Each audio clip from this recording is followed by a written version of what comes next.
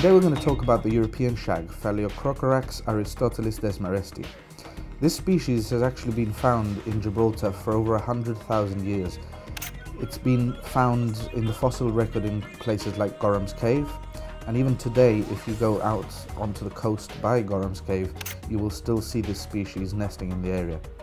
It's currently classified under the IUCN Red List as least concern, although it's important to note that the population trend seems to be slowly decreasing. It breeds on cliffs with small caves and crevices, and Gibraltar is actually the only breeding site on the Mediterranean coast of Iberia, on Gorham's Cave. It's found abundantly along the entire Atlantic coast of Europe, as far north as Finland and Iceland. This species lives in colonies. In some places in the north of Europe, for example, you can have over a thousand individuals in one site. It feeds by diving into water, often mainly after small fish.